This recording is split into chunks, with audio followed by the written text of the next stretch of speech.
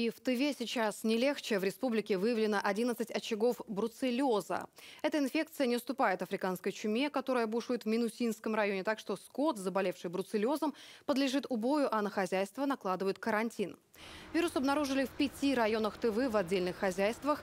Причиной могло стать несоблюдение ветеринарных требований, бесконтрольный выгул скота и несвоевременный вынужденный убой. Чаще всего инфекция встречается у овец, коз, коров и свиней, но самое страшное, что она передается и людям. Уже определен круг контактных, это 30 человек, 12 из которых дети. У них взяли кровь на анализ. Плюсом к этому вирусному кошмару в Красноярском крае выявлено еще и бешенство у лисы. Сейчас 5 очагов находятся в Уярском районе. Зато уже 17 лет в нашем регионе не было ни одного случая сибирской язвы. Последний был в 2006 году в том же Минусинском районе.